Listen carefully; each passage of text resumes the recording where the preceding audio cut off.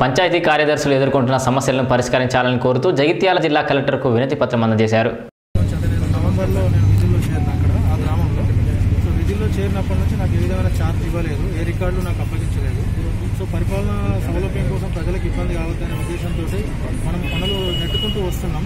So కానీ ఇక్కడ ఏమైంది అంటే మనం హౌస్ ట్యాక్స్ కలెక్ట్ చేసేటప్పుడు అక్కడ ఉన్నటువంటి కారోబార్ కొన్ని తప్పులు చేయడం జరిగింది. వాటిని నేను మా సిబ్బంది గారి దృష్టికి తీసుకెళ్ళడం వల్ల ఆయన వాళ్ళిద్దరు కుమ్మక్కైపోయి దాన్ని వదిలిపెట్టాలి ఈ సమస్యను ఇద్దరితోనే లేకపోతే మళ్ళీ నేను చేయాల్సి వస్తుంది ఇక్కడ అని చెప్పి బాధపడ్డాడు. సో ఆ విషయం నేను మనకి కంప్లైంట్ కూడా ఇవ్వడం సరే వాళ్ళ మీద ఎంక్వైరీ అనేటువంటి జరిగిందో లేదో తెలియదు కానీ మరి నన్ను మాత్రం తీసేయడం అనేది కరెక్ట్ కాదు. ఎందుకంటే నేను ఎక్కడ కూడా ఒక మిస్అప్రోప్రియేషన్ చేయడం కానీ ఒక రూపాయి ప్రజల నుంచి తీసుకోవడం కానీ అట్లాంటి ఏం పనులు చేయలేదు. ప్రజలకు అందుబాటులో ఉండి అన్ని రకాల పనిచేస్తారు ప్రజలు ఊళ్ళో ఏ ఒక్కరిని అడిగినా కూడా వాళ్ళు చెప్తారు.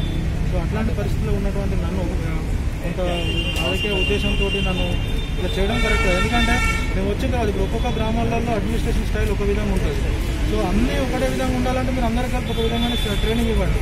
అన్ని గ్రామాలలో ఏ రకమైన రిజిస్టర్లు మెయింటైన్ చేయాలి? ఎట్లా రాయాలి? ఒక ఇల్లు పర్మిషన్ ఇచ్చినప్పుడు ఎట్లా ఉండాలి? దాన్ని ఆస్తి మార్పులు చేసేటప్పుడు ఎట్లా ఉండాలి? మాకు అందరికీ కలిపి ఒక శిక్షణ ఇవ్వండి. కొంతమంది మాన్యువల్గా చేస్తారు కొంతమంది ఆన్లైన్లో చేస్తున్నారు. రకరకాలుగా చేస్తున్నారు కాబట్టి అది యూనిఫార్మిటీ అనేది వస్తుంది కాబట్టి మాకు అందరికీ ఫస్ట్ శిక్షణ ఇవ్వండి.